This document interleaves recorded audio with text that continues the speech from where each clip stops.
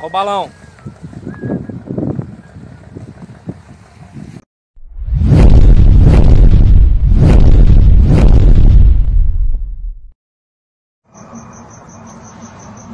Fucking satellite, dude. Aí, ó. Satélitezão caiu aqui na Jacamim.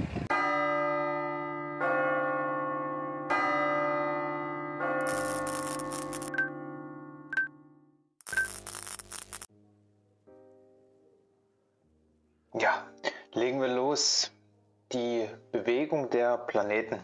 Die sogenannten Planeten, wenn sie nachts nicht sichtbar sind, befinden sich auf der Seite der elektromagnetischen Kuppel, auf der die Sonne ist und den Tag erschafft. Wenn wir über einen Zeitraum von mehr als einem Jahr täglich zur gleichen Zeit ein Bild aufnehmen, stellen wir fest, dass Merkur und Venus immer der Sonne in den Sternbildern folgen und immer in ihrer Nähe erscheinen.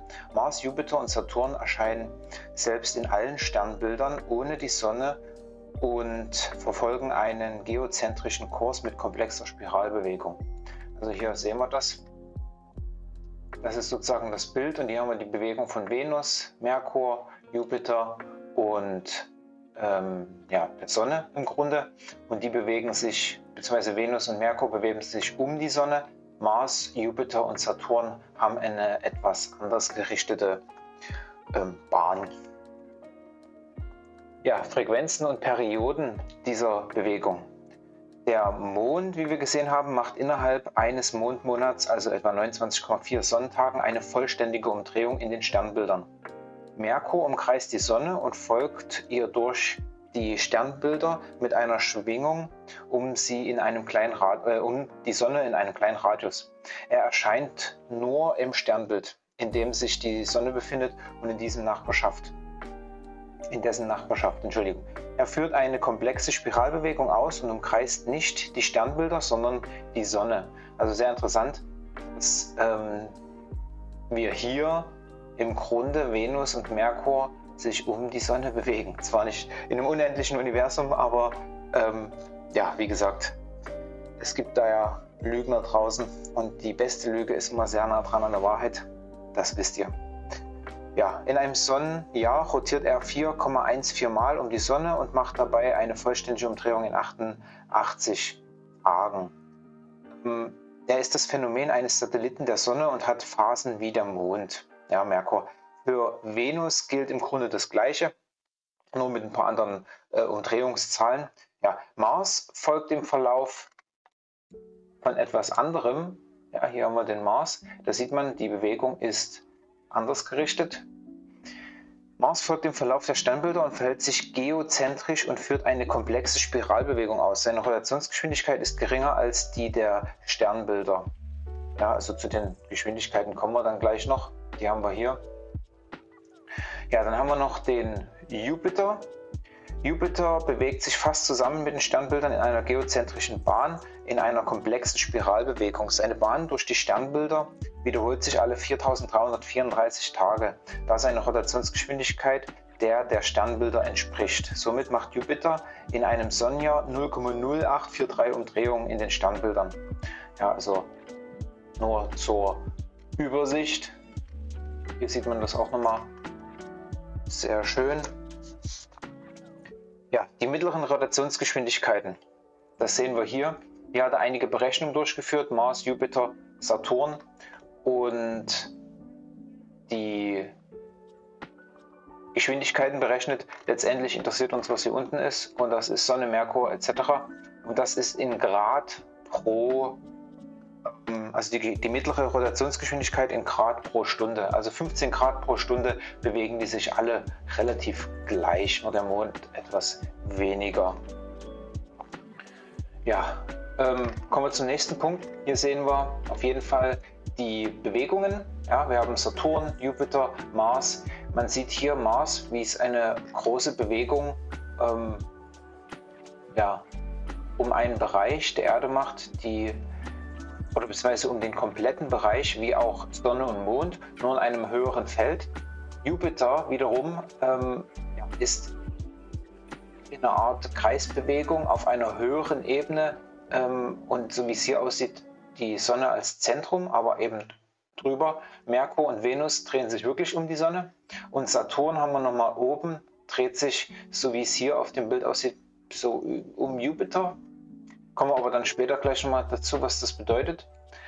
Hier haben wir auf jeden Fall die ja, verschiedenen Felder mit, dem, mit der Rotationsgeschwindigkeit. Und hier sehen wir auch die verschiedenen Ebenen, also die verschiedenen Ceilings, ähm, wie zum Beispiel auch im Universum der Veden ähm, festgehalten. Ja. Unten Erde, dann das Marsfeld, das Jupiterfeld und das Saturnfeld. Ja. Und die Rotationsgeschwindigkeiten werden ähm, immer langsamer, umso höher man steigt. Außer der Mond. Der Mond hat seltsamerweise die langsamste Rotationsgeschwindigkeit. Ja, jetzt kommen wir zu diesem Tori, Tori, jetzt kommen wir zu diesem toriodalen Feld.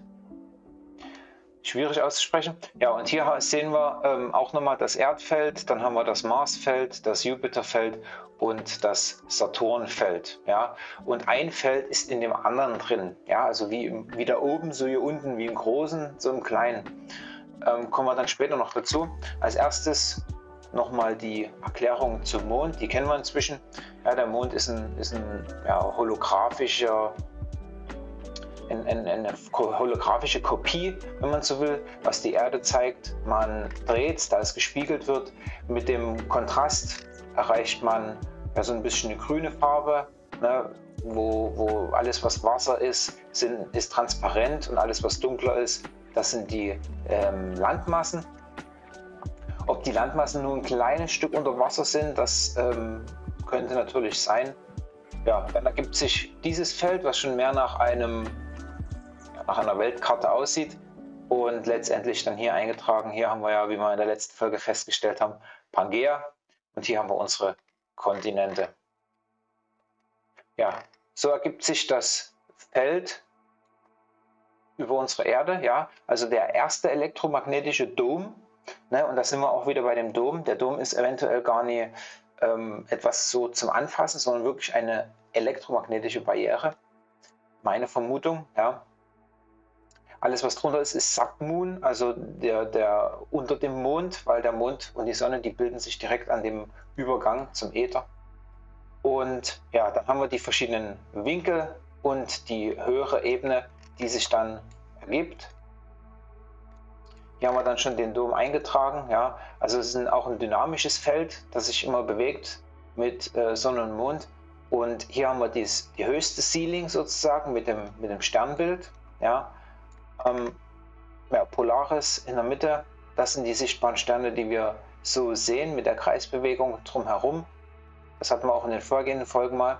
Wenn jedoch die Sonne dort steht, ist das der Bereich, den wir eben nicht sehen, da der überlagert wird mit dem, mit dem Feld, mit dem elektromagnetischen Feld der Sonne. Ja, Merkur, Venus, Sonne, Mond. Ja, Merkur und Venus sind auch ja, ätherische Kopien von der totalen kosmischen Energie, die von unten kommt, also von der schwarzen Sonne. Ja, und innerhalb von Merkur und Venus sind auch die kleineren Felder unten drunter enthalten. Ja, ähm, das bedeutet, alles, was im unteren Feld ist, ist im höheren Feld inbegriffen. Ja, gehen wir mal zum Mars, da wird es am deutlichsten, vor allem wenn es von Mars zu, zu Jupiter geht.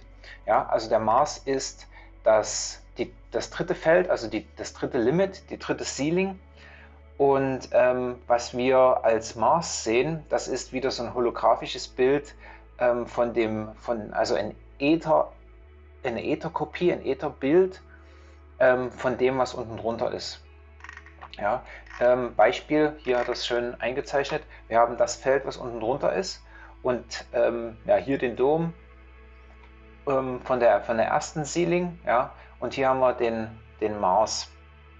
Ja, die Sonne, Die schwarze Sonne unter der Erde ist sehr komplex und gibt verschiedene Strahlung nach oben ab, elektromagnetische Strahlung. Und hier finde ich ganz witzig, you are here, also wir sind hier. Ich weiß nicht, ob wir wirklich hier sind, aber ähm, dürfte ganz genau sein. Und hier haben wir halt das Marsfeld, was dieses Feld ähm, ja, innen drin hat. Ne? Ähm, dann hat der Mars hat zwei Satelliten, einmal Phobos und Deimos, die ähm, rotieren um den Mars herum. Und das Marsfeld ist auch nochmal wieder in einem größeren Feld drin. Das wird äh, meiner Meinung nach gleich sehr, sehr deutlich. Und hier haben wir auch wieder den Punkt, wo es für mich einfach Sinn ergibt, dass es so ist. Ähm, und zwar haben wir das ähm, vierte elektromagnetische Limit, ne, also die Ceiling. Und das ist dann der Jupiter. Und der Mars ist im Feld des Jupiters drin. Ja? Umso höher man geht, umso, umso größer wird das, was unten drunter ist, abgebildet, weil immer mehr ähm, durch die elektromagnetische Energie nach oben geworfen wird.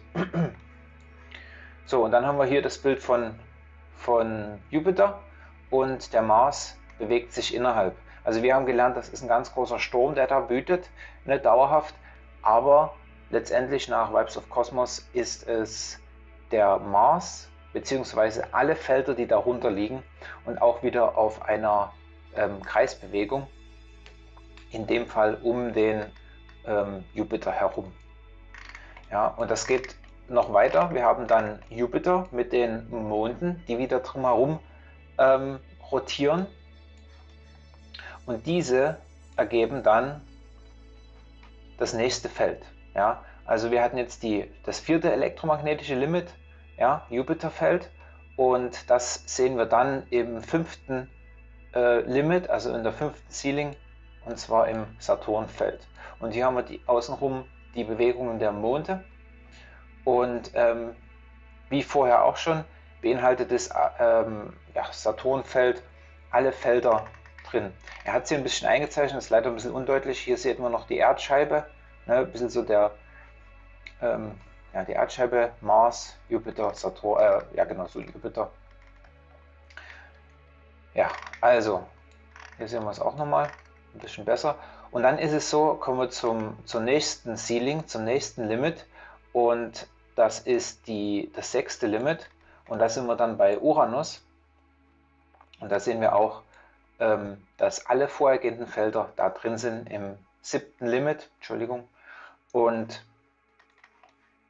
ja, so geht es dann immer weiter. Wie im Großen, so im Kleinen. Ja, das soll es dazu gewesen sein. Die Bewegung der Planeten. Kurz und knapp, sehr interessant, auch wieder sehr sinnhaft mit ähm, den elektromagnetischen Ceilings.